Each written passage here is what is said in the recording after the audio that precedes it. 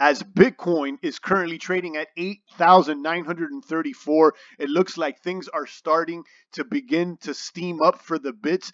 Things could be taking a turn for the better here on the coin market caps. Shout out to all the crypto maniacs worldwide. It's Champagne Crypto, the voice of the blockchain here, Satoshi's biggest cousin, cryptography's finest. Make sure you are kabooming the like button and subscribe buttons worldwide so that you stay informed with the good crypto word. We're here daily, although I have taken a break in the past uh, week or so, taking some time off with the family while the market was cooling off. But things look like they may be taking a turn for the better, and uh, the bits are starting to heat up. Today, we'll be talking about the top five altcoins going into summer 2018. Uh, we do have price predictions here personally. Uh, for a $1 billion market cap overall for all the cryptocurrency market caps for 2018 headed into 2019, which could put Bitcoin over 30,000.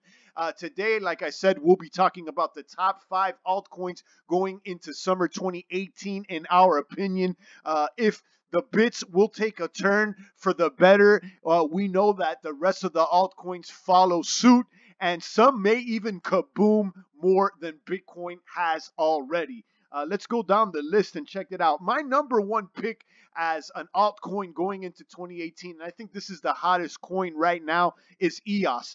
EOS is currently number five on the coin market cap, currently trading at $11.75. EOS is a, somewhat of an operating system that will allow users to launch decentralized, decentralized applications on the blockchain. This will be a direct competitor to Ethereum. Now, although EOS's blockchain has not yet launched, they do have an ERC20 token trading on the Ethereum blockchain, which is basically an IOU for when the real blockchain launches sometime this summer in June. I believe. Uh, there is a process of registering those EOS tokens in your Ethereum wallet so that you could uh, be credited the actual tokens uh, when the blockchain launches. There's plenty of videos out there that explain how to register your tokens. You could do it in the Exodus wallet, and Champagne is planning on doing a video explaining how to do that as well. But EOS, guys, I think is a boomer. Uh, the community continues to grow.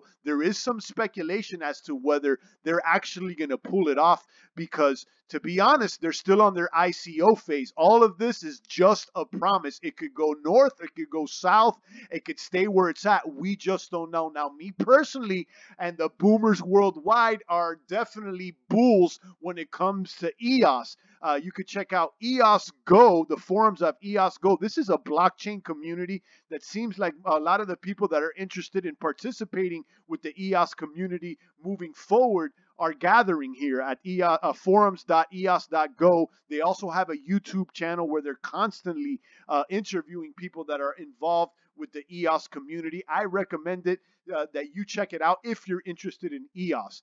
EOS again, um, EOS has held its price from the all-time high of $18. Right now it's at $11.75. It's lost only 37% from its all-time high compared to some of these other coins that are, have lost 50, 60, 70, 80, some have lost even 90%. So we've seen EOS retain its value quite well. Moving on to number two, Monero. Monero, Monero is currently trading at uh, $279. It's number 11 on the coin market cap, and it's down 43% from its all time high of $495. Now, Monero is holding strong out there. Monero, uh, you know, it never boomed completely like Bitcoin did, but it steadily gained value. It rised steadily on the market. Uh, it rose steadily, excuse me, on the market. And, uh, you know, I believe that Monero has value because, uh, you know, it's arguably the only true cryptographic coin left out there, guys. Uh, I know some other coins out there, they provide privacy, but they're not tried, true, and tested like Monero. Monero has held its price better than Bitcoin has as far as its all time value. Uh, it's only down 43% from its all-time high of 49, uh, 495, as opposed to Bitcoin, which is down 55%. So, you know, technically, if you would have held on to Monero, you would have retained your value better than if you would have held on to Bitcoin uh, this past, uh, you know, seven or eight months or even year.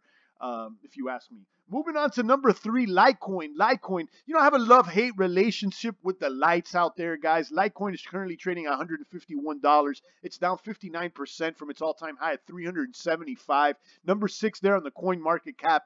Uh, they were supposed to launch the LitePay in February, okay, which was uh, some sort of a uh, upgrade to the Litecoin network. Uh, which will allow users to pay easier with Litecoin. I don't know the the uh, details on that, but uh, apparently, it failed.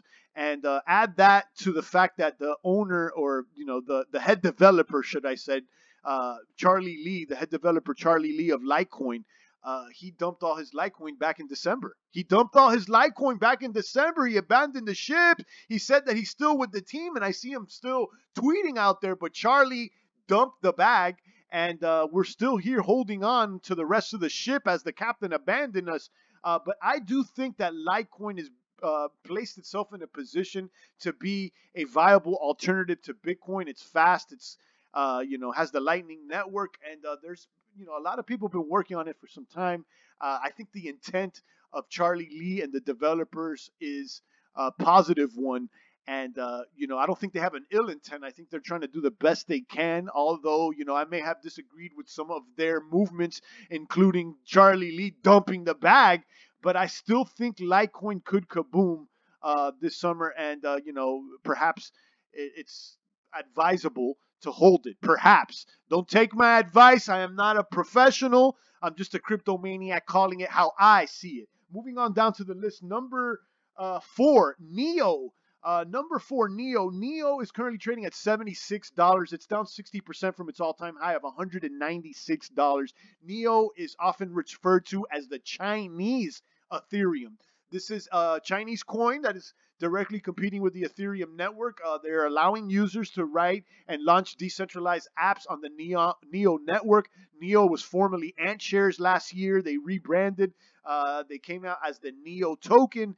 And uh, another positive um, feature of the Neo coin is that it's a proof of stake coin, meaning that if you uh, keep your tokens in the Neon wallet, and just for keeping your tokens there, you'll be getting receiving staking rewards in the form of a second token called the Gas token. The Gas, the GAS token, and that token is also worth something as well. So not only uh, will are you able to perhaps uh, participate in the rise of the value of the Neo coin and gain some profits there.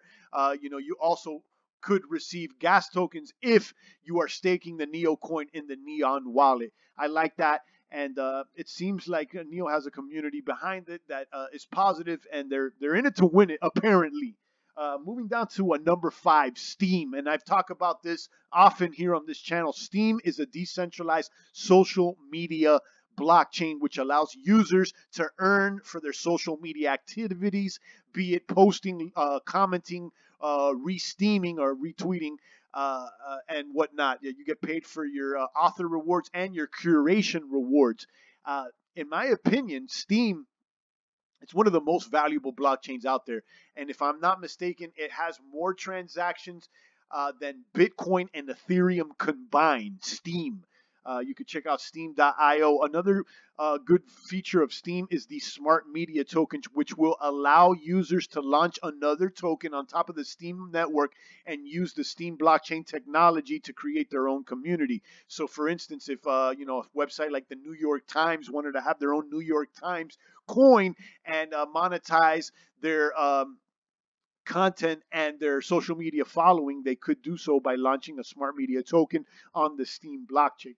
Jane. Uh, you know, it's still uh, something that's new, and uh, I believe there's a, an ICO for the first smart media token called the Apex or the Apex, and that hasn't come to its completion yet, if I'm not mistaken. But I'm interested to see where this all heads out to the smart media token feature here on Steem. It smells like a boomer. Now, some notable mentions here are uh, Ethereum competitors and decentralized exchanges. I think they're going to look hot.